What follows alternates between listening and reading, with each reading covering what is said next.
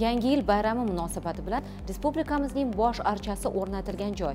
Yangi o'zbekiston bog'i atrofida harakat xavfsizligini ta'minlash tirbandliklarni oldini olish fuqarolarga hamda shahrimizga tashrif buyuruvchi mehmonlarga bir qator sharoitlar yaratish maqsadida 2021 yil 31 dekabr va 2022 yil 1 yanvar kunlari yangi o'zbekiston bog'iga olib boruvchi maxtumquli ko'chasi bo'ylab vaqtinchalik avtoturargohlar tashkil etiladi. Ulardan biri parkent ko'chasining boqqa olib boruvchi tomonida joylashgan bo'lib uzunligi to'rt kilometr.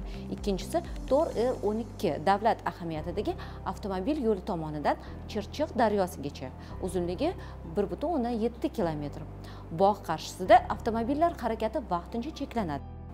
Shuningdek e'lon qilingan dam olish kunlari toshkent viloyatining bo'stonliq tumaniga ko'plab fuqarolar dam olish uchun tashrif buyurishi kutilmoqda.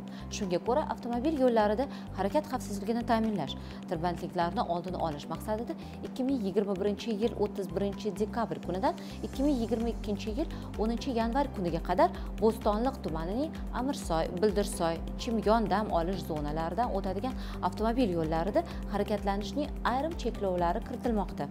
Bunda toshkent shahridan harakatlangan vaqtda ohangaron shoh ko'chasi bo'ylab harakatlanishini so'raymiz. Xususan avtotransport vositalarining oqimini hisobga olgan holda to'rt r er olti toshkent chimyon avtomobil yo'lining ellik yettinchi kilometridan to'qson ikkinchi kilometrgacha bo'lgan oralig'i va to'rt r er o'n chorvoq suv ombori halqa yo'li avtomobil yo'lining nollinchi kilometrdan o'n ikkinchi kilometrgacha bo'lgan oralig'ida bir tomonlama harakatlanish tashkil etiladi.